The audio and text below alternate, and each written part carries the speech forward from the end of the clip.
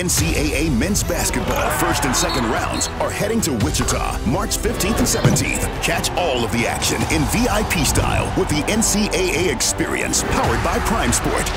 Enjoy premium seats, pregame hospitality, and create memorable moments.